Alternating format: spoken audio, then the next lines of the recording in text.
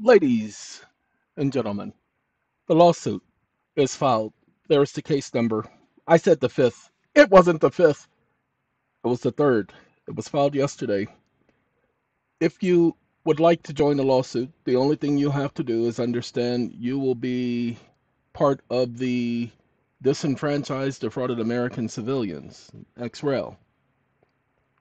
That is the group that you'll be a part of.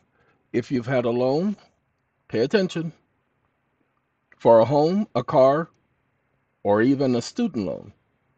If you've written a promissory note or a bill of exchange, whether it was accepted or not, if you've written a bond or any other type of security, then you can sign this form in this section right here.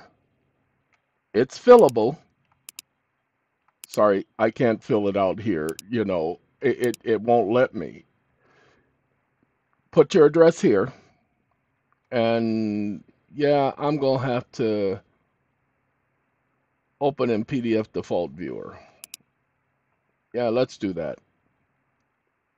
Let's see if it'll open up. And I got to see if it will let me. Because on my PDF, it lets me fill it in. If it doesn't, print it, write your address there, your name. Put your name here, and then sign. Okay, you sign above your name. I mean, not, excuse me, below your name, not above your name. So your name goes here, and you sign. Literally, that's it. That's all you have to do. And you send it to the court. Oh, of course you're going to read it.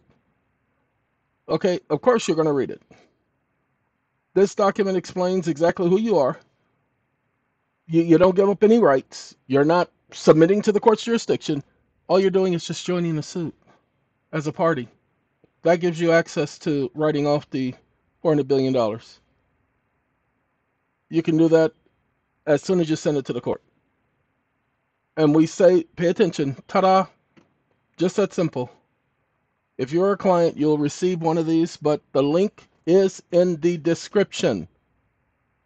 The link is in the description. All right. Hey, that's all this video is about. If you want to see the lawsuit, then we'll have that uploaded shortly. I'm sorry, can't do it right now.